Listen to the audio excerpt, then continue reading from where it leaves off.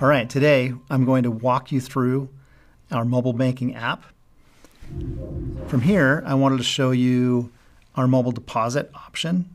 So I'll go to the menu and I will select remote deposit. Here, I'll select the deposit a check option.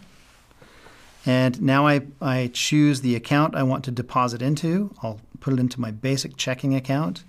And then I have a check here. I will go ahead and put in the dollar amount for that check. And then we'll enter the purpose or memo.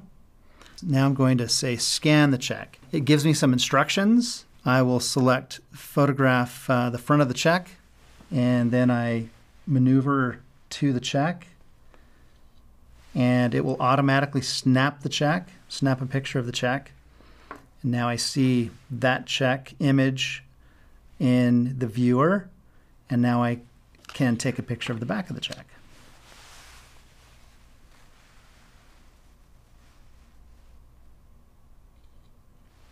It automatically snapped the back of the check. It's a good picture, so I'll use it. Now I'm going to, to transmit that, those two images. As it transmits, we confirm that the image is good, um, and then we get various messages back. If, for example, I've gone over my limit, it might be uh, a check that needs to be reviewed. In this particular case, it's saying that the check is under review. Uh, some institutions want to validate more closely each individual check, and so the user might get a message like this. Um, I can st- I can go back and view my list of deposited checks and take a look at the images, um, or I can just continue on with another transaction.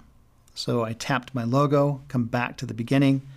Now let's just take a look very quickly at our card control option. This is a simple card control capability where I can view the list of my cards and I can tap the disable card. It asks me if that's what I really want to do. It is, so I'm going to say turn the card off.